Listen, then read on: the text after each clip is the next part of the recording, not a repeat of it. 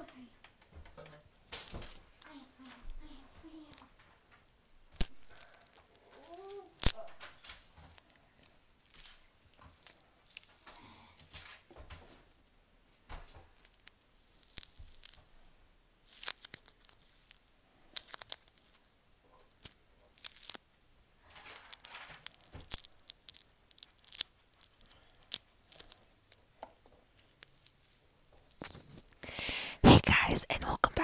ASMR channel. Today we're gonna be squeezing some